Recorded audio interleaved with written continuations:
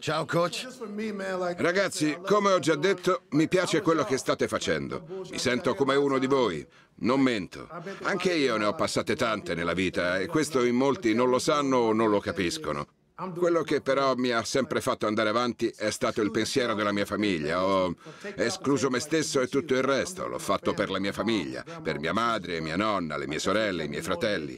Era questo che mi motivava ad andare avanti e so che non è facile. Ma alla fine raccogli ciò che semini e per qualsiasi cosa, se volete venire a vedere le partite, potete contare su di me. Ditelo a Coach Mosley. Sì, lo so. Lo so. Una cosa però, quando sono entrato mi stavate prendendo in giro. Ho visto lui come mi guardava. Sì, diceva non voglio farlo entrare, è quello che è stato umiliato da Allen Iverson, l'ho riconosciuto. L'ho visto, l'ho visto, sì, davvero. Gliel'ho letto in faccia. Gliel'ho letto in faccia, davvero.